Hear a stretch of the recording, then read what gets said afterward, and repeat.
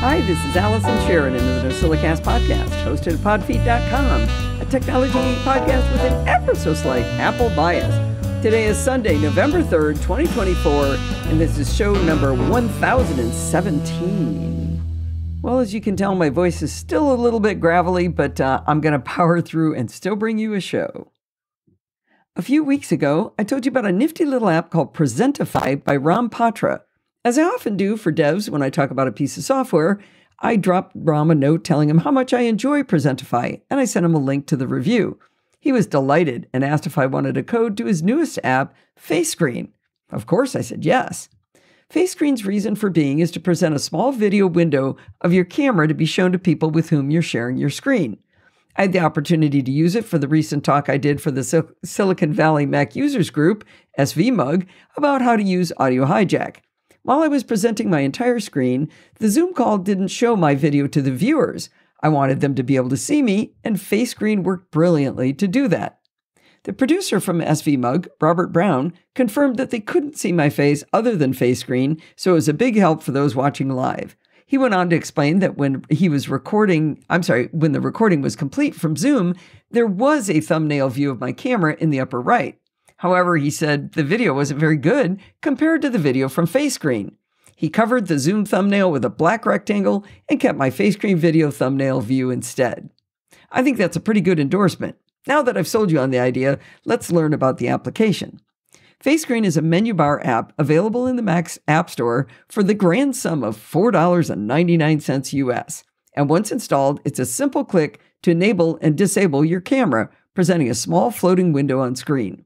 There's no fancy keystrokes to memorize to move the window around. You simply drag it with your cursor. The power of this simple tool is all found in the settings for FaceScreen. Before I go through the settings, I wanted you to know I tested them with VoiceOver, and every single thing I tested passed with flying colors. I was able to move sliders, toggle switches, and read every element in settings. Yay for accessibility. Now, the General tab gives you a few simple controls, just uh, such as whether to start at login and which camera you'd like to use as your default.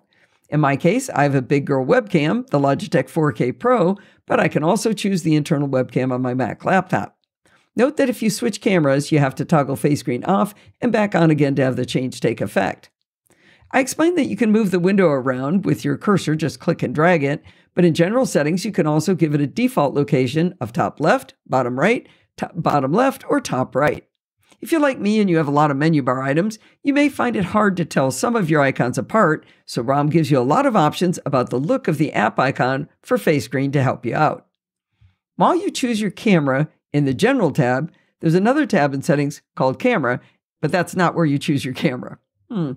Anyway, lots of fun to be had in there anyway. First of all, you can change the shape of the little floating window that will be framing your lovely face. You can choose between circle, squircle, and rectangle. Now, there's one oddity to those three choices. Lower down in the camera settings, you'll see a slider for corner radius. You would think that the corner radius would only affect the squircle option, but it's grayed out for squircle. Turns out you can add a corner radius only to the rectangle option. The squircle is a quick way to get the desired shape, but if you want more control, a rectangle with a corner radius seems like the way to go. Below the three radio buttons for the shape, you can set the aspect ratio to 1 to 1 for square, or 3 by 2, 4 by 3, or even 16 by 9. Additionally, you can change to portrait or landscape orientation for the rectangular aspect ratios. There's a slider to increase the overall size of that floating window. I encourage you to set the size when you have your screen resolution set for your presentation. If you have a large, high resolution screen, it's just plain mean to your audience to show them your screen that way. Remember, people are often viewing on iPads these days, and most of those aren't bigger than 11 inches. Before presenting, I always ask what resolution they rec- recommend for the particular audience, you know, the people running whatever it is you're uh, presenting to. For my recent presentation to SVMUG, Robert Brown explained that setting my display to 1920 by 1080 would be best. Evidently, when you do a screen share, Zoom presents at 720p, which scales perfectly for 1080p. I set my screen to 1920 by 1080, and then I dragged the scroller up on size and FaceScreen until it looked big enough to show them my face, but not so big that it was overwhelming their view of my demo. Now that you've got the size of the video window set properly, you may want to zoom in on yourself a little bit, and FaceScreen has a slider for that. If you crank the size up to the max, the video fills about two thirds of a 15 inch MacBook Pro screen. The next control is interesting, and I think I did it incorrectly when I was presenting to SVMUG. It gives you the option to mirror the camera, meaning your face will look the same as it does in a mirror. I chose that option because it looked right to me, but it turns out that makes it backwards to your viewers. Maybe it's not critical because you don't have any text showing in your video, like something written on your shirt or in the background, but it could easily be confusing for the viewers either way. I had Sandy take a look at it and she said, oh no, that looked completely wrong because she's used to seeing me in the live show and she knows which side the pillow she made for me is on. So she could tell that it was just all wrong the way it looked. Well, if you've messed around with the settings and uh, you'd like to get back to the defaults, there's a nice reset button. The settings window isn't quite tall enough to view everything in the camera tab. So if you scroll down, you can see some controls for the color from your camera. You can adjust saturation, contrast, brightness, and hue rotation. That last one's super weird. I was wearing a pink shirt, and when I rotated hue all the way, my shirt was purplish blue and my beige walls were pink. If you want to have more fun, you can change the color multiply setting. I'm sure this is useful if maybe the white balance is off on your camera, but I mostly made everything just look psychedelic. Good thing there's a reset for the color settings too. While you're displaying your video to your audience, you can also have text displayed under your video. You can toggle it on and off from the menu bar, and from settings on the text tab, you can edit the text shown.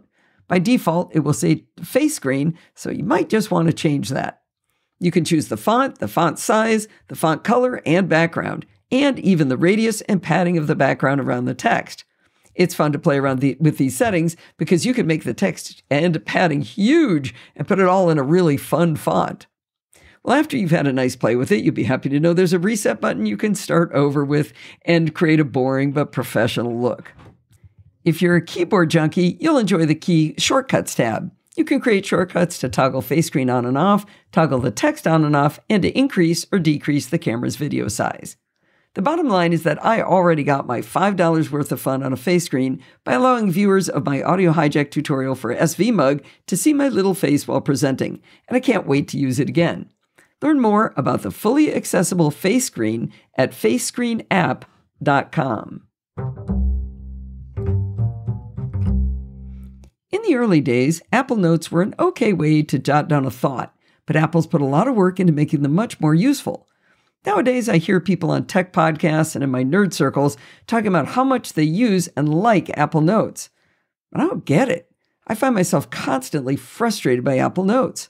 I'm going to wander through the interface to tell you what I think works well and what makes notes feel like sandpaper on my eyeballs. Probably the nicest thing I could say about Apple Notes is that the data syncs flawlessly through iCloud. I can depend on anything I write in a note on my Mac to show up instantly on my iPhone and my iPad. To be fair, though, iCloud syncing with a lot of note type apps works pretty flawlessly. Let's talk about organization. I do also like how with Apple Notes I can pin notes to the top allowing me to have quick access to critical ones like the one my daughter and daughter in law and I collaborate on to see where we are in Grey's Anatomy so we don't do spoilers to each other. Pinning works well to not have to scroll around through my 1058 notes or use search. They implemented folders a while back along with smart folders, and they seem to work reasonably well. I have a smart folder for pinned and one entitled Unpin Me, and they're leftovers from a catastrophic experiment pinning notes. I don't remember how long ago it was, but I tried to pin several notes and didn't notice I had selected all notes when I hit the pin button. Unpinning them was quite a trial because I didn't want to unpin all, I just wanted to maintain the ones I had pinned. I used smart folders to help me triage my way back to where I started, and I guess I never got rid of those smart folders.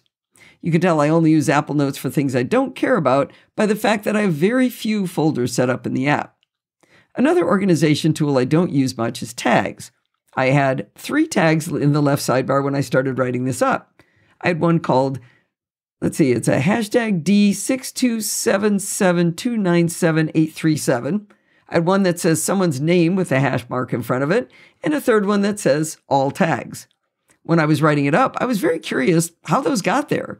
I studied the user interface and tags, and I couldn't even figure out how to create a tag. There's no new tag, or assign tag, or create tag, or even a nice plus button down in the tag area. Now, I'm a big fan of the app Bear for my notes. In Bear, if anywhere in a note you type a hash mark, also known as an octothorpe, also known as a pound symbol, followed by a word, it will create what looks like a folder in the sidebar. I tried that in Apple Notes, and sure enough, that's exactly how it works here too. I guess Bear did a better job of onboarding me when I was learning it than Apple Notes. Armed with this new revelation, I selected the tag D627297837, which revealed a note containing a ticket number from an Apple repair I had done recently. Well, obviously, I didn't want this to be a tag. In a lot of apps, you can stop them from interpreting symbols like the, the hash mark by typing a backslash before the symbol. This is called escaping. In Notes, I tried to put the backslash before the hash, but it didn't stop it from being a tag. I thought I would just put a space between the hash and the number to remove its taggy behavior, but Apple Notes simply would not let me put my cursor in between. I could not edit that tag that was embedded in the note. I tried clicking and even by using the arrow keys to go back and forth, but it would not let me get between the hash and the next character. That tag was now a single entity. I put my cursor ahead of the hash and I did a forward delete to see if I could just remove the hash, but instead Apple Notes deleted the entire ticket number. And guess what else? Undo does not bring it back. I had permanently lost that ticket number. But wait, I typed it into this very blog post while I was figuring it out, so I was actually able to put it back. Now, why on earth would Notes make a deletion of a tag be undoable? I tested this later, and I was able to undo the deletion of a tag in Note, but I gotta tell you, now I'm very nervous about them. I created a new tag called hash software. I thought it'd be easy to command select several software related notes and simply drag them into my shiny new software tag. I was able to command select I was able to simply drag them onto the tag, and when I was dragging, it even showed me how many notes I was dragging in a little red box. But when I let go, only the last selected note was added to the tag. Now that I know how tags work, it's not a terrible system, but it's dodgy enough that I probably won't use it. In contrast, I use tags all the time in Bear because they aren't so weird. And one good thing about Apple Notes is that you can collaborate with other people on a given note. But even that gives me fits. You click the little share icon, you know, the box with the up arrow, or as some cool kids like to call it, the sharrow. At the top, it shows the title of your note, and then there's a drop down that's defaulted to collaborate. You can change it to send a copy, but you know, my goal here is to collaborate. You can control who can access. It says invited people versus anyone with the link. And you can set permissions like whether they can make changes or only view. There's also a pre checked checkbox to allow others to invite. All right, that's pretty intuitive. But then I get stuck. I just sit there looking at it because I'm never confident of what I should do next. There's no go button at this point. I do see a row with four people or groups I've recently sent Apple messages to, and then I see a list of applications. Few of them look promising, you know, like mail and messages, but the other options simply don't make any sense. Sometimes I've seen Open in News, Freeform, Xcode Simulator, and even my Paprika Recipe Manager, but that list seems to change. When I see these options, it makes me wonder what this list is even about. Along with mail and messages, there's an option that says invite with link. All right, that sounds useful. I just want to invite with link. This pops up a little window that says create link. You'd think that it would, you know, I don't know, create a link that you could copy, maybe paste into a text message or an email. Instead, you see a very plain window with an empty to field and a grayed out copy link. It says to add people. How? With what information? Probably not their Mastodon handle, but do they want an email address? Does it have to be their Apple account email address? I literally have no idea when I'm looking at it. I clicked in the to field and a plus button appeared. Tapping that opened a mini version of my contacts. In here, it's a free for all. You can put in email addresses or any type of, uh, of any type or a phone number. I enlisted Jill from the Northwoods to test what would happen next. I asked her to put, or I decided to put in her non Apple account email address, and then it allowed me to click the copy link button. I sent her the link over Telegram and told her she had to, or when she clicked it, it said she had to verify her email address by sending her an email. She clicked the link from that email and it took her to iCloud.com, where she had to log in with her Apple account email twice for some reason, and then she could see the note. I'm glad to know that it worked, and I do think it's kind of cool that I didn't have to have the right address for her to still be able to get in. Can't tell you how many times I try to invite someone to a Google Doc and I use the wrong email address and they have to request access. Actually, it happens to my friends too because I use an address that I don't use for anything else but Google Docs. My main point is that I eventually figure out how to share a note every time I need to, but it doesn't seem intuitive for me. I'm sure I did, if I did this all the time, I'd probably get used to it. Or is it just me, or can everybody else do this right away? They know what to do? Well, the main reason I dislike notes is how cumbersome it is to format text on iPad and iPhone. If the joy of notes is that we can write them on any of our Apple devices, then it needs to be good on all of our Apple devices. On the Mac, I can use keystrokes for bold, italics, underline. I can use keystrokes to make headings, links, and even code blocks in a monospace font. But all of these options are buried under multiple taps on the iPhone and iPad. Let's say I want to make a word bold. First, I have to tap on the AA to bring up the formatting options. This is kind of equivalent to using the drop down menu on the Mac. I can tap the B for bold, but I can't now start typing in bold. It's waiting to see if I want to make bullets or do strikeout or add some highlighting. In order to get back to typing, I have to hit the X button. I know that extra step isn't huge, but now I type my word and I don't want the next word to be made bold. I have to tap the AA again, then tap B to unbold, and then tap the X again. That's six steps to make a word bold. Now, you might think I'd be better off typing the word, selecting it, making it bold. That does make it one step shorter. That is, if I count the double tap to select as one step. I type the word, double tap it, tap the AA, tap the B to make it bold.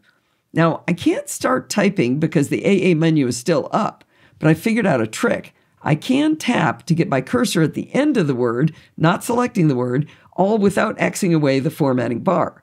This means I can tap the B again at the end to stop using bold and then tap the X to make the formatting menu go away. Did you count those steps? I was wrong. It's still six steps. Maybe people who like Apple Notes never do any formatting when iOS. Maybe they go back to their Macs to make headings and checklists and such. Of my annoyances with Apple Notes, this is the one that bothers me the most. Making tables in Apple Notes isn't bad. It's pretty easy to add a column or a row. On the Mac, if you select a column, you get a three dot button at the top and also a downward chevron. Select the chevron and you can add a column before or after the current column. On iPhone and iPad, selecting the three dot button pops up a menu that allows you to add a column, but you don't get a choice of whether to put it before or after. I don't know why that's not an option, but it's pretty easy to press and hold on the three dot button and drag them back and forth. It's one of my favorite features of Apple Notes. Interestingly, this pop up menu gives you way more options on iPhone and iPad than you get on macOS. You can format the column, bold, italic, underline, and strike through, and you can copy or cut the column or row. As much as I like tables in Apple Notes, there's one thing I just don't like about it. You cannot change the justification of the text in a table. It is always left justified. No fancy center or right justification for you iOS 18 is bringing us a bunch of cool stuff in Notes for using Apple Pencil on iPad. I suppose you could scribble with your finger on an iPhone as well.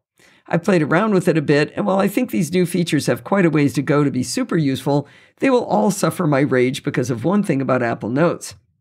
Anything you write with pencil is in a separate region of any text based content in the same note. You can't draw next to some text. It has to either be above or below the text, and that's it.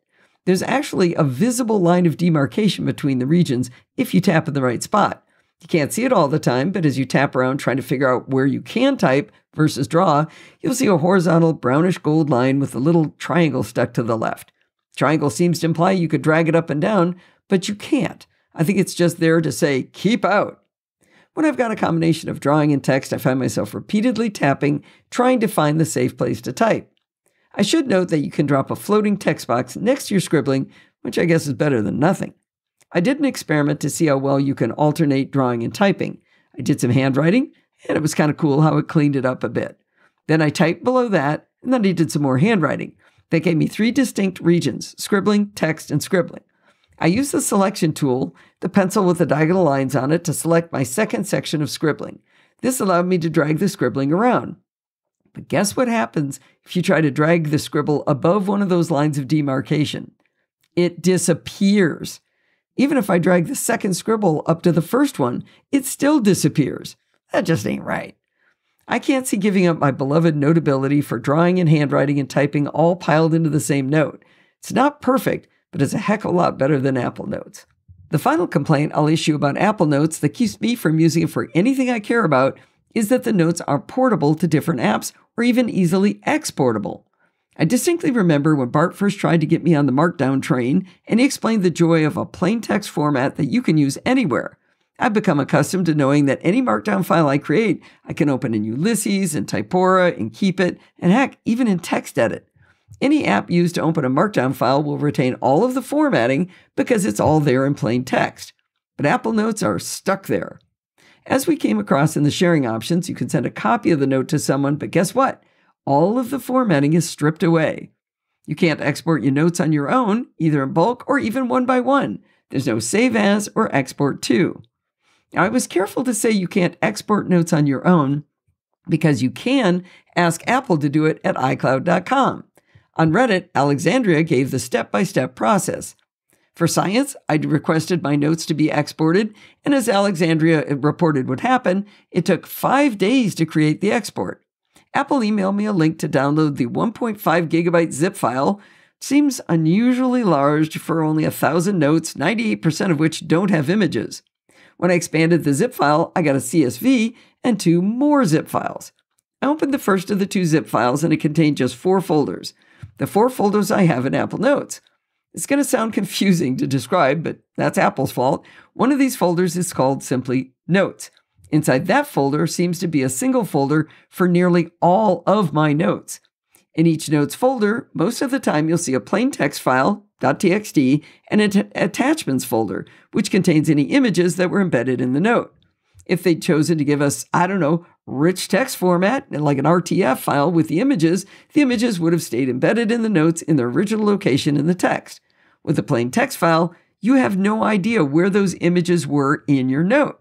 Now, another thing you lose because they chose plain text files instead of RTF or export is 100% of your formatting is gone again. There's no headings, nothing's bold, nothing's underlined, there's no bullets, there's no numbered lists, and of course, you don't get any checkboxes. Maybe you're not much of a scribbler in Apple Notes, but if you are, any notes that had scribbles in them simply don't come across at all as a .txt file. They're just not included. If you had images in the notes, you'll get those attachments, but no note at all. I've just given you the good news. Remember I said there were two zip files? My second zip file, which is 800 megabytes in size, will not expand. I get an error that says inappropriate file type or format. So that's nice. Nearly a week to get total garbage. To pile on the lack of export exportability, one of the things I often want to do is just save an image that I've pasted into a note. In Notes on the Mac, if you right click on the image, there's no Save As option there is the option to open the attachment. That will pop it up in whatever app you've designated to open that format of file. You can also double click the image to open it in that same external app. From the external app, then you can do a save as. I guess I should be grateful Apple lets us do it at all. Oddly, it's easier to save an image from Notes on iOS. Tap on the image once and it will open as big as possible with kind of black bars around it. Tap again and there's two ways to get to the Save As option. In the bottom left is a share icon, which will reveal all of the sharing options, and one of those is Save to Files. I found that share icon to be a diff- bit difficult to select. It kept going back to the black bar view. An easier way is to tap at the top of the screen on the downward chevron next to Pasted Graphic. This reveals Save to Files, Save to Photos, Print, and it can even take you to the full Share menu. The bottom line is, I keep trying to use Apple Notes and I keep trying to figure out what everyone else likes about Apple Notes, but I remain baffled by the love this app gets. I use Apple Notes only when I know for a fact that I never need to reference that particular note again, and I know I won't want to use the information in any other way. I'm experimenting with the new features to smooth out your handwriting and with math notes, but I'm not yet ready to give you a review on those features. If you think I'm judging it unfairly and you feel joy when you use Apple Notes, I would love to hear what you like about it. Do you remember just last week when I said that another great way to support the Podfeet podcast on your own schedule was to go to podfeet.com slash PayPal and do a one-time donation? Well, guess what? That's exactly what Philip Ricotta did. Isn't that wonderful? Speaking of wonderful, the lovely George from Tulsa made another of his many PayPal donations. Thank you, Philip and George, for helping keep the lights on at the Podfeet Podcasts. As an unwritten policy, I don't generally interview people who sell products or services, but you know what? Since it's my own guideline and it's my own show, I figure I can color outside the lines when I want to, and this is one of those times. As you uh, probably know, Steve and I do a bit of international travel, and in my stories about tech on travel, like our most recent trip to Africa, I've talked about the ease and cost savings of getting an eSIM for data while out of our home country. My process has been go, to go to a site called esimdb.com, and in there they list various companies and their plans, and then you can choose a company based on the best combination for you of the time span of how long you're going to be gone, the amount of data you want, and the price. On our last two trips, the company I chose through eSIMDB was GigSky. Coincidentally, after I got back, I was approached by GigSky and asked if I'd like to chat with Sam King, Chief Revenue Officer for GigSky, about how most eSIM companies are simply resellers of other, other telecom companies' products. I did not know that, and so I thought this sounded like a fun discussion. So, a good opportunity to learn even more about the process of choosing an eSIM. So, I would like you to welcome the Chief Rev- Revenue Officer for GigSky, Sam King. Welcome to the show, Sam. Thank you very much. It's a pleasure to be here. All right, so let's start with for the benefit of those who've only recently upgraded their phones to get the joy of eSIM versus a physical SIM. Can you explain exactly what this means to people? Sure. So um, eSIMs stands for embedded SIM. So that means that the the the card that used to be removable uh, is now embedded in a chip inside your your phone, and um, this also enables you to download SIM cards over the air to, to be stored on this chip. So there's a there's a download capability as as well. So um, this means that you, you know the SIM technology. The purpose of a SIM card is to authenticate your your phone or your device onto the network. You can think of the SIM card as like a key uh, that that enables you to use the network and be you know to identify yourself on the network as someone who has an account and is uh, you know in a has an account in good standing and is therefore enabled to to to use the network. So eSIMs just you know at first blush um, uh, digitize the the removable SIM card, uh, and um, now consumers have the opportunity to to get SIMs from different providers by simply downloading them from anywhere in the world uh, onto their phone, provided their their their eSIM is uh, unlocked. Um, so there's still the SIM locking thing that that, that exists um, in the U.S. and in a handful of other countries under certain circumstances. Um, but uh, but by and large, that's that's how eSIMs work. That, now, that's an important point. I did yeah. I did uh, go out of my way to make sure the last two or three phones I've bought are unlocked with AT and T. Even though I'm buying AT and T and we're doing it that sure. the, whole way, there's an option to just say I don't want it locked. And you used to have to even wait. Like the unlocked phones were only months later, and then you could right. request to have them unlocked, but it was a big thing. It was a big hassle, and it seems like that's gotten a lot easier now.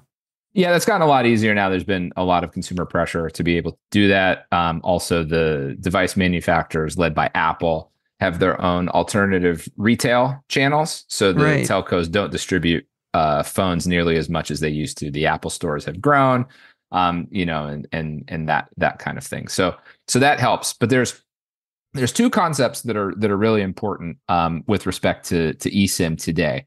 One is the eSIM itself but the other one is that the phones, like the the iPhone um, that that's added eSIM back in 2018, is not just a single SIM phone; it's a dual SIM phone. So these phones are have two SIMs in them, um, and and today they're they're two embedded SIMs. You know, in the iPhones of 2018, it was one removable SIM and one eSIM. Now they're they're both e they're both eSIMs. So the the fact that there's two eSIMs in an iPhone today, or in you know high end Android phones as well, um, like like Pixel or the Samsung Galaxy series, means that you can use two providers at the same time. So what that enables you to do is unbundle talk, text, and data from a single provider. So when you're roaming, uh, you know what what the Apple and you know gives you in in Google uh, g- give you the the ability to do is to have maintain your your current phone number um you know for talk and text and then use another sim like from gigsky for your data in order to save on the on the roaming fees. And so that's the kind of the foundation of our of our business is this ability to you know with the new technology uh, new since 2018 the technology and the device enables an unbundling of talk text and data so talk and text you know you can still receive an sms let's say from your bank that doesn't incur a roaming charge um, but you're when you know when you're in south africa you're using a connection from gigsky uh, and you're saving money over what you might pay So, to at&t or Verizon. I might have missed a really important point then in the last couple of trips. I always assumed that if I even let my eSIM from AT&T just breathe when I was in another country, it would cost me, you know, a kidney in, in payments. So I've been disabling my my eSIM from AT&T. I assumed that making a phone call would cost me a fortune or getting getting a uh, a text message through iMessage. So, um, making a phone call or receiving a phone call would cost you a fortune. Okay. Uh, receiving a text message does not trigger a roaming charge to receive one. but Um, But a, a text message, if you're getting it through the Messages app and it's an iPhone, it's a piece of data. So that would trigger That- a data cost.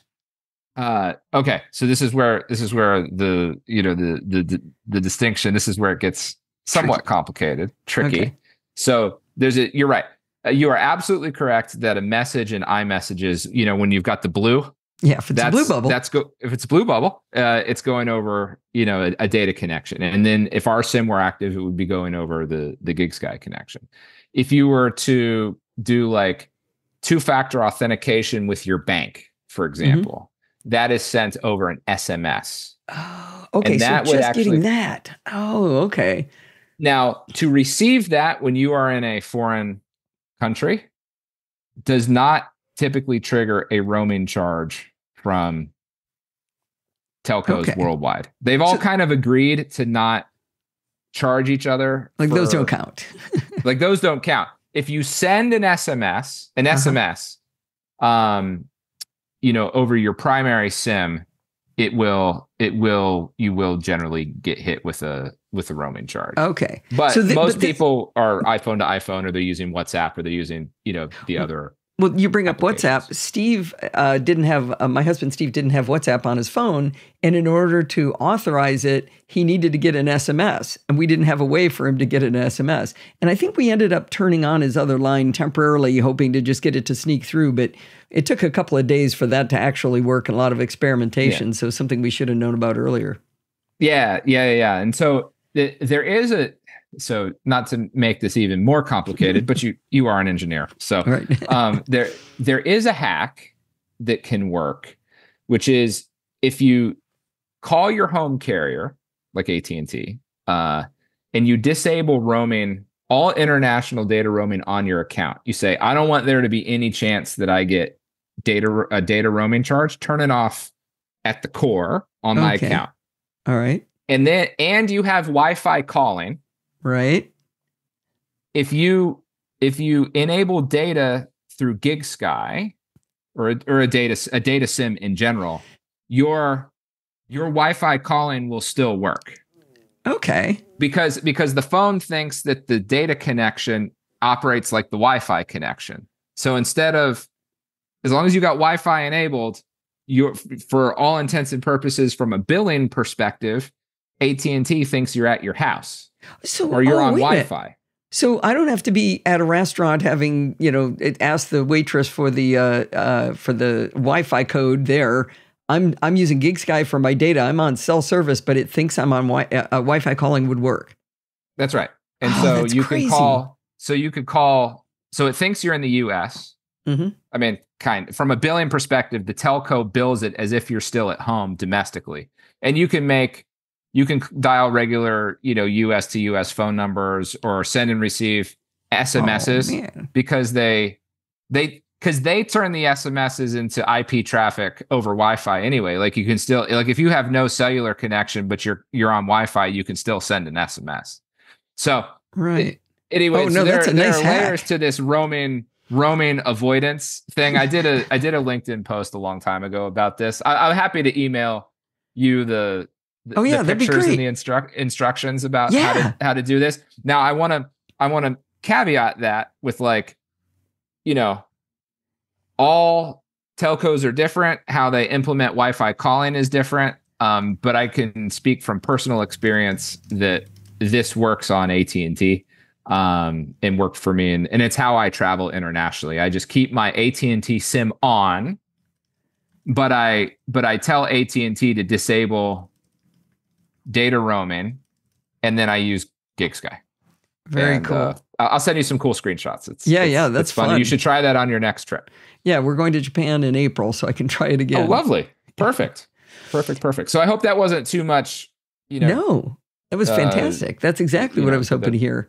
So now, Sure. eh, I've chosen to use an eSIM before, but like I said, I just go to esimdb.com. I look for, I set it, I'm going to be gone for, you know, three weeks. Okay, let me set it to a Mhm. month. I want 10 gigs of data. And I Mhm. look at the prices and I pick one. And I happen to have picked you twice in a row. But Oh, thank you very much.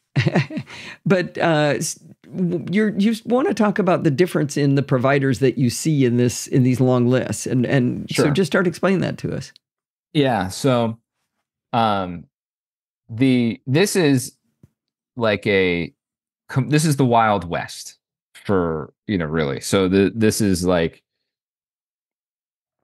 the what what the eSIM technology um, with the downloadability of of SIM cards has done is it's digitized the people that used to sell you SIM cards when you got off the airplane Right? okay. Right. so so if you if you you know traveled in the internationally in the pre eSIM era, especially if you were going to places that were a little bit off the the beaten path, as soon as you get out of the airport, there's like people coming up to you, you know, with SIM cards trying to get you to you know buy a local SIM card. I do remember doing or that in- the- in India, except the problem was they had just gone to the nano SIM on the iPhone, and the Indian providers didn't have nano SIM, so none of them Right. could get, none of us could get one.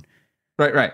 So, so it, you know, what what what's happened is that you know, a- most companies, like pretty much all the companies um, that are out there that are doing this, what they do is they take a SIM from a from a telco, like say Orange France, right? They then um, get a website, get an app, and they resell you the Orange France SIM card for Europe. And they When you say they get a SIM card, do you mean they get a physical card? they get they get they get the like they get digital cards Okay. They get a you know they, Okay. they basically go to orange and they buy you know a thousand digital sim cards uh, at a wholesale you know rate for the five gigabyte plan. They mark it up and then they sell it to you over the internet. Okay? Oh, they are not mobile operators. All these companies are competitors. None of them are mobile operators. They're they're digital resellers of sim cards. None. You're the only real provider in the world. so there there are like two or three that Really? that yes um that uh Truphone is one um and that's you know pretty much pretty much it um and so like the big ones Airalo, Holafly, uh you know other folks that hang out on on eSIMDB for example what they're doing is they're going to Orange France or they're going to China Mobile or they're going to you know um whoever will sell them a you know a, an embedded sim with a package associated with it and then they just resell it. Just like the person that used to you know sell sim cards with prepaid with already credit you know on them preloaded that would sell to you when you got to the airport. Now what this means is they don't they don't have any idea what's happening to you on the network once you've got their sim in there because it's not their sim. It's somebody else's sim. They don't all they can do is like swipe the credit card and you know go to a, a you know an api to to add the credit but they're not like they're not they don't even know exactly which like visited networks you might be in. Possibly they do possibly they don't. They they can't do anything to shift traffic if a network goes down they can't even reset the the like if you delete your eSIM accidentally or have an issue, they can't like reset the SIM or send you a new one. It's that they're not a network operator. We are a network operator. So the GigSky SIM that you download is is our SIM. You know, we built it. We've got um, relationships with the, you know, mobile operators across the world to be able to provide the coverage. But it's our sim. You know, we, you, you know, your subscriber data is on is on you know protected by GDPR on you know on our infrastructure. You know, we're an American company. Um, we uh, when when there are like outages or problems, um, we're able to like open and close networks. So like if folks aren't having um, if there's like an outage on three in the UK, we can move the traffic to Vodafone and keep you connected. Um, when AT and T had its string of outages uh, this year, there was a big one back in February. Yeah, we were able to to to move um, folks that were using us in the US onto other networks so and keep them connected. So i was really? i was bricked on my home at&t sim but my but GigSky still worked.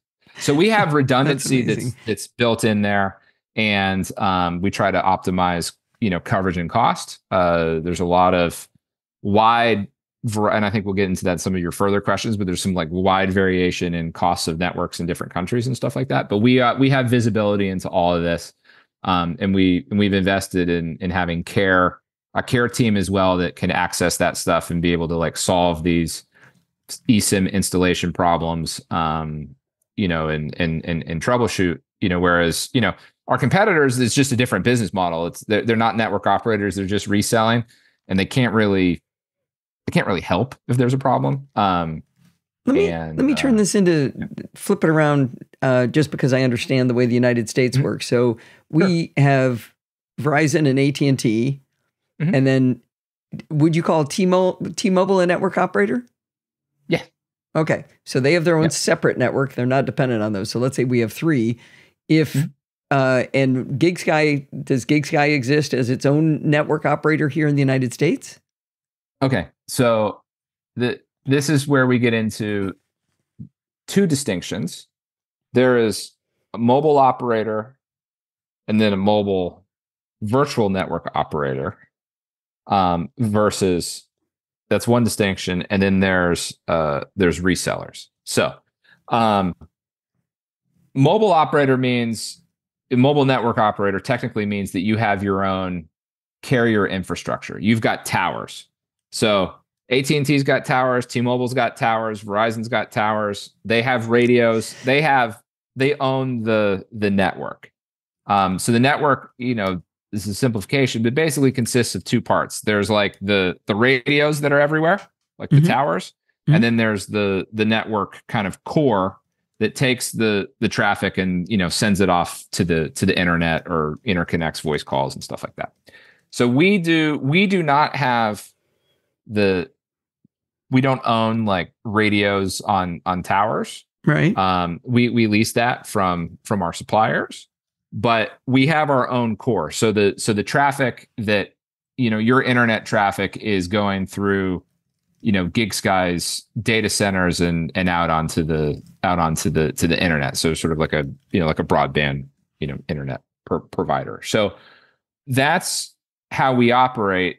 So but but because you know we're monitoring the traffic and can see the um you know have have visibility into the stability of the network because we receive you know kind of reports of you know where our users are um, around the world and how they're doing on the network that enables us to you know do some things to mitigate kind of issues and have some insight into what could be causing a, a problem. Like you know some parts of some countries have better connectivity on certain providers than other providers and so you know being able to switch uh, people onto the right network if they go to a a corner of a country, for example, is some things that we can do our competitors um, who just are reselling another operator's SIM card, they don't, don't they just can't have that okay. visibility. They just okay. So that that, that kind of explains the three tiers, at least mm-hmm. in the United States. Um, yeah.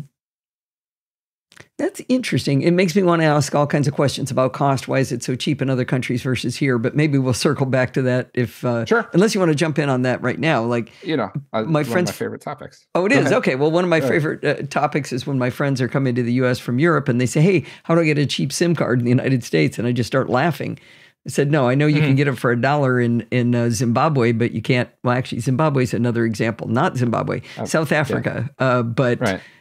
Here, that's just something you can't really do, right? Yeah. So, you know, the the I mean in terms of so we so the so are are you are you talking about like domestic Yeah, text and data? yeah. I've got a friend coming Yeah. from Germany, Klaus Wolf. He's Mhm. coming over from Germany. He wants to get a SIM card to work in the United States. Right.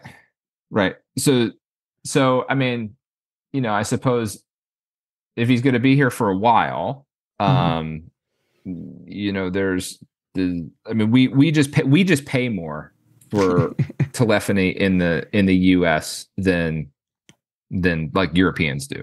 Right. Um, part of that part of that has to do with how the part of that has to do with geography. Part of that has to do with um, the per capita GDP of the U.S. versus European countries. Part of that has to do with um, the regulatory role that the you know how the U.S. is sort of structured. The regulated part of our telecommunications industry, you know, in terms of like um, you know the how the the the costs are are apportioned and part of it is we have a really big country um with a lot of open space and um you know it costs money to you know cover that open space with with networks and and stuff like that. So there there is an element of that. Um you know in Europe you know the EU I get it it's bigger than the US in terms of total population but with 28 countries in a land mass that's as densely populated as the EU is with, you know, 400 million or some odd people versus our, you know, 300 and some odd million people. Um, each country in the EU probably has at least three mobile networks. So you multiply 28 by three, right. Right. and it's that number of companies you know competition is a big thing we have for all intents and purposes three technically there's a fourth with dish um, but they're really struggling to actually get get stood up here in the us in terms of building out their network. Um, so it it it costs more you know here. And as far as like inbound roaming um generally speaking you know the the the roaming rates for the for the US um often are inbound into the US um Mhm. the Europeans tend to get get pretty good rates because they do send a lot of people Okay. here Okay. um and uh roaming rates in Europe um are regulated by the European Union and so you know Europeans like don't pay like if you're in France and you go to Germany you don't have to pay any extra to, to right. to right. Well, but that's sort of like going from you know Ohio to New Jersey. We don't pay any extra either, right? Yes. Yes. Although, you know, getting into the questions of like EU federalism and stuff like that is a fascinating d- discussion. Um, Probably should set probably that beyond the aside, scope though. of uh yeah, yeah, beyond the scope Next, we'll this be talking about U.S. politics. Okay, Yeah. maybe not. Um, actually, I'm I'm looking at the GigSky uh, page right now, and 10 Mm-hmm. gigabytes is 26 bucks for 30 days in the United States. So Mhm. that's really that's actually a little less than I paid in uh, to go travel in three countries in um, in Africa. So that's Yeah. actually not as bad as I thought. Yeah, yeah. Okay, Yeah. yeah.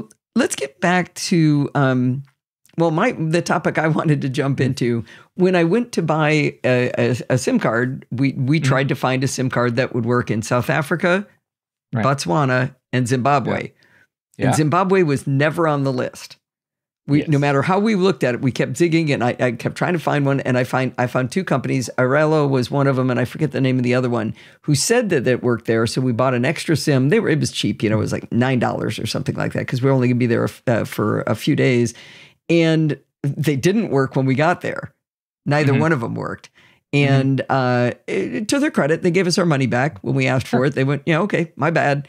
What's Mm-hmm. wrong with Zimbabwe? Everybody there had cell phones. They had Right. They had SIM cards. They were working. Why Sure. couldn't I get one?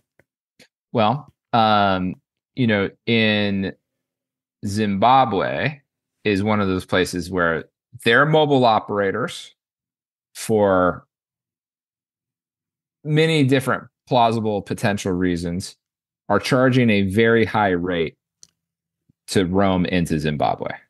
Okay. So this um, tends to be a thing in you know highly autocratic uh, countries, Zimbabwe being being one of them. Um, and uh, you know there there there are a few countries like we have we have access to Zimbabwe, like we offer connectivity there, but not to consumers um, Hmm. because it's um you know we have some some enterprise customers that can pay what we what we have to charge for it. Uh, I mean, it's like a lot of money. Okay, so you Um, could have it up there, but it'd tell me I needed I had to pay nine hundred dollars to be there for four days or something. Right. Yeah. I just we don't we don't need need that. Um, but that that that's kind of like the uh, it's it's a bad look. Um, and that has to do with you know our relationships and our supplier relationships and stuff like stuff like that. And there are just some parts of the world where that is the way it is. Um, Cuba was one of those places for a really long time, but you know you check us out. You know we we've got we've been able to like crack the code in in Cuba a little bit, and um, uh, you know we we've been able to to offer some some good plans um, in in Cuba now. But really, it kind of comes down to cost, and in countries where like the state and the only telco are fused together, those are often countries with pretty high pretty high roaming rates. Interesting. Um, we we did learn a lot about the corruption of the government there. That things That- are just crazy. I mean, like education is mandatory, absolutely mandatory. You have to go to school, and it Mm-hmm. Costs money. You have to pay to have your kids go to school, and it's a huge amount of money. They've got over eighty percent unemployment there. It's like, Right. wait a minute, how can you make it mandatory and then tell me I have to pay for it? You don't get to pick both. And like, yeah, we can. Look at us. Yeah. Yeah. And uh, you know, you you cross the border into Botswana, and all of a sudden, like there's water, for example. Like, literally, right, across the, bo- the the border, you see farms, and they're growing, and everything's prosperous. And on the Zimbabwe side, all the fields are dead because they can't get water because the government's corrupt. It's like, Yes. Yes. So extend that to the government um, either directly owning or indirectly owning the you know the one or two you know big telecommunications companies that are there. Okay, and then imagine sitting on the other imagine sitting on the other side of the Zimbabwean government to try to do a roaming deal. And that's why and that's why if if you know Airalo sometimes there can be openings in the price. So sometimes it's offered but then if the uh, but then you know the somebody changes their mind and then they jack up the price then the network has to be shut off so it oh, okay. could have could have been something like that We um, kept that trying in different areas. You know, we were in Victoria Falls, but then we were over in uh, I can't remember the name of the other place where we went to the the Painted Dog Reserve. But uh, i- everywhere we tried it, it didn't work. And it's like, well, why did you sell me something that hundred percent doesn't work? And they just Mhm. went, okay, here's your money back. Sorry, my bad. yeah yeah Okay. that, that yeah um it it can it can happen it probably you know had to do with their suppliers might have had something for a little while and then their suppliers no longer had something. But this is an example of the resellers not always being clued into what's happening. So Yeah. if Airalo's supplier had some you know telco say in africa or europe um, or the middle east they Air- some you know strong backing out of the uae so if like you know, um, Etisalat had at one point some good roaming rates for for Zimbabwe, then Airalo might have tried to sell that. But if like, you know, uh, Zimbabwe, which I think is like Econet or something like that, if Econet and Etisalat have a spat, then Etisalat closes the network, but doesn't necessarily notify Airalo. Oh And- wow. And, then um and then you end up in the situation that you were in. So it's probably if you wanted connectivity in Zimbabwe, you'd have to go to the local shop if they sell to you. Yeah, that was one the, one of the guides suggested, and I was like, "Ah, that's too much work. I'm not going to Yeah, deal with that." yeah, but yeah, yeah, we we lived off of uh, the, oddly hotel Wi-Fi was great there, so it worked out. So another question I had was when you choose an eSIM, there's a Mm-hmm. massive disparity in cost between a data-only SIM and data Mm-hmm. and voice uh, calling plans. What what causes that? Uh, that has to do with how the the the big telcos price the roaming minutes, the voice minutes between one another. So Okay. the so you know the the in the kind of secondary, you can sort of think of the eSIM roaming market as the secondary roaming market, and Okay. um, the the primary roaming market being like AT and T, you know, roaming on Vodafone and like their agreements that they have with each other. Um, you know, at AT is an AT and T subscriber, you're not really, um, you're not really seeing what those agreements are, and if you did, you'd be shocked at the margin that you're you're being charged. Um, but because you're just paying the whatever twelve dollars a day or you know whatever it is, but um, there are you know agreements where the data rates are set at a at a like a a, a per megabyte rate like each megabyte costs you know x amount. Um, voice minutes uh, are are the same and as the as voice traffic has diminished over the years um, in the some corners of the of the roaming industry the cost of voice traffic has has risen to sort of offset the the the down That's sort of the opposite of voice. supply and demand. There's plenty of supply, so and no demand, so the price went up. Yeah yeah and and also you know also they use it's a trade right? So also in the in the bilateral negotiations um you know they'll they'll uh they might jack the price of voice in order to you know get a better rate for data. And there's there's horse trading that's going on. This is all kind of between like the the big the big telcos. We participate in this you know to to varying degrees um but we don't do voice traffic. You know we focus on on data because there are just some complexities with, with Okay, so you don't even- think that You don't even offer voice. no we don't offer voice. Okay. Okay, but with your little hack, we can get around that. Use our home phone, Th- home, num- home that's number. right. That's right, and that, and that's one of the reasons why we don't um, offer voice. Voice, um, you know, gets you into sort of more regulated, the more heavily regulated telco space, and it just creates a, a you know regulatory burden for us to manage. And we think that people are pretty happy using WhatsApp and using you know iMessenger and stuff like that. So we don't we don't mess with it. But yeah, that's what accounts for the cost of voice. Okay, that's interesting. So, uh, oh, I did actually answer my last question already about eSIM data uh, versus uh, in the United States versus Europe was going to be my last question, but I accidentally asked that one uh, sooner. Uh, is there anything else you want people to know? Yeah, so I guess you know talked about um you know the uh uh the kind of you know we're not not all eSIM providers are the same. Some Mhm. are many are resellers. Uh, some are some are not. Some you know are running the own network. So that's a that's a distinction um, that that a lot of people you know don't necessarily see. It's kind of transparent to the user, but it it, it does Mhm. matter in critical situations. The other thing is because we're um, you know we are our own operator. We can do some unique things. So like we um, have worked with Cellular at Sea to offer cruise plans. So um, you can now uh, we're on over 200 cruise ships around the world with uh, um, we we like to call it the surf and turf plan. So you can uh, so you can get a single package from us that works on the ship as well as on shore. And when you add up the costs on a on a cruise, if you're on like a seven day cruise and you've got four ports of call, then um, you know if you add up the Wi-Fi cost plus you know you're you might be doing excursions on shore for about four hours, but then you'll get a full day charge from your home operator just for that that day. You start to add up those costs, it starts to look to be really expensive to stay connected. So um, you know we we think we've uh, you know got a great option for um, for people who want to stay connected while cruising and um, because you have to be a real mobile operator to be able to get that set up um, you know we're we're kind of leading the uh, the eSIM cruising space it's uh it's just us that's out So I'm kind of confused on how that's working. I thought that you could only get uh, the Wi-Fi on the ship was usually uh, just um, sorry s- satellite service.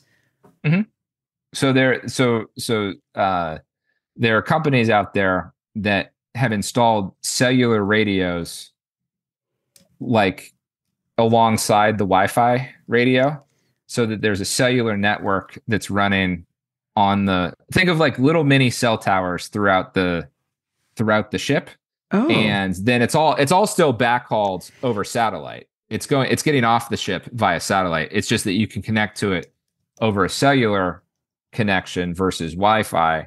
And the quality of service is usually a lot better because of the frequencies that cellular uses. You know, Wi-Fi, you there's a lot of metal and stuff on a cruise ship. And Yeah. so like you know, if you're in the wrong spot, you're in the wrong cabin trying to use Wi-Fi in a cruise ship, it can create problems. So um, cellular is more reliable, and um, you know we think we're able to deliver it in a really cost-effective way. So Yeah. for your for the cruising public, um, you know, check out our cruising plans and see if that helps. Uh, you Yeah. know, save some money over Do- the. Why would the cruise ships offer that? Because it seems to be one of the highest money makers, maybe next to the alcohol rates on a cruise, is the cellular service. Uh, or the the wi the Wi-Fi. I'm sorry, Wi-Fi service. Wi- yeah. Wi-Fi service. Yeah. Well, I mean, they're they're sort of like different use cases for different types of users. You know, I think that um there's a there there's probably you know when it was only Wi-Fi trying to keep to the the high price point like for um folks that that really needed uh like a lot of data like the Wi-Fi made sense and the cruise ships could charge a lot for that because they're giving them like a lot of data like sort of bulk bandwidth access. Um but you know for folks that um maybe just wanted to stay connected you know have you know messenger access really you know have you know check Light load. email kind of do that that kind of thing um some you know social media stuff but it, they aren't they're not like gaming while they're on the cruise ship Sure. a cellular Streaming. connection streaming um a cellular connection was the right like uh you know mid a mid to low level data user is probably better served by the cellular connection um and so you know you know we were we were able to work with folks that had worked this you know with the cruise lines and um you know so we're so we're offering the you know these these packages and the nice thing about it is you have the single data package that works on land also Yeah. So yeah, you're not messing around. you're avoiding your your roaming charge to your home operator as well um, right, right. which helps it work so yeah check that out That's, that would that's be one fascinating. I'm not a big cruise fan, but we did do one in Australia many years ago, and uh, okay I was it was a horrible experience. It was, the Wi-Fi was just it was a nightmare. It was uh, yeah that, it, that was not the fun. it, it it's the it's getting better with Starlink and the you know the Oh, low yeah. orbit uh low altitude you know satellites and stuff it's been pretty pretty disruptive but it's still not quite like being on go.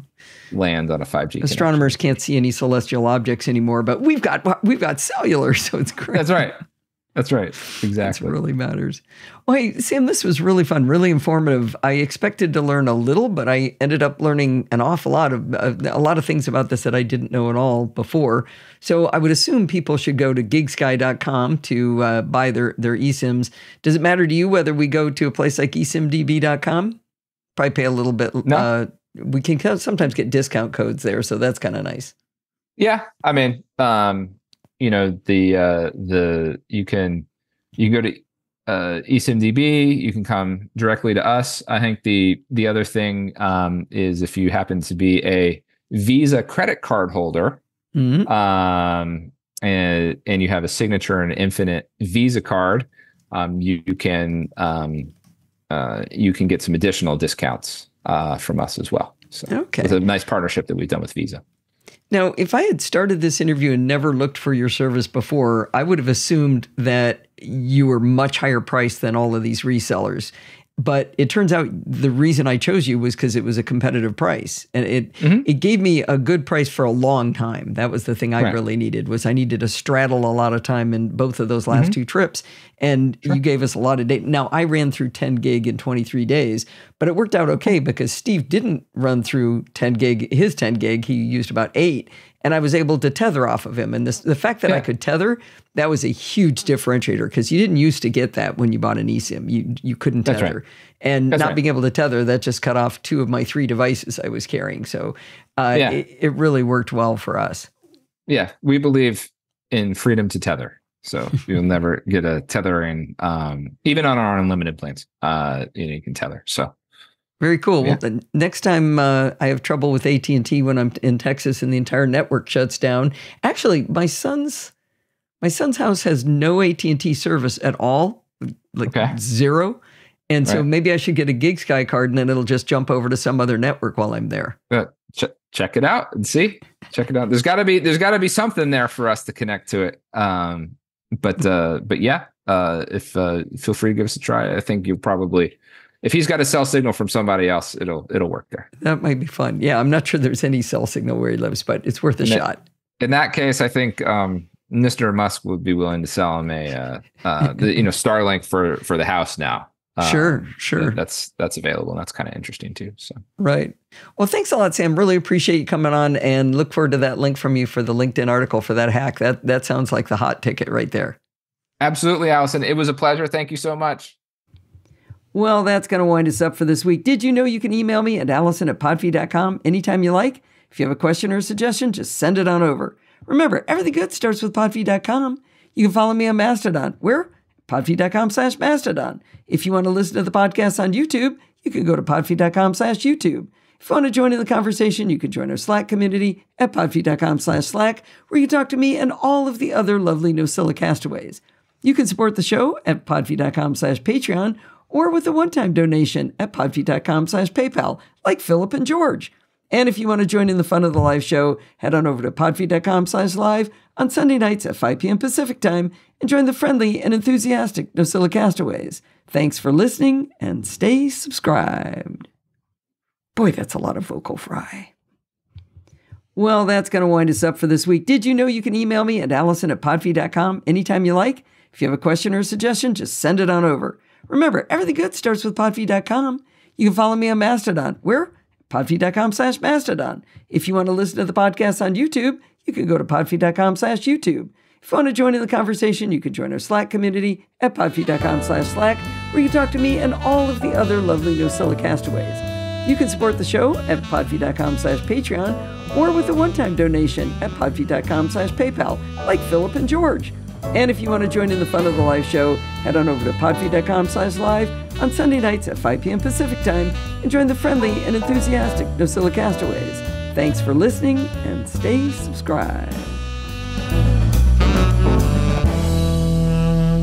Boy, that's a lot of vocal fry.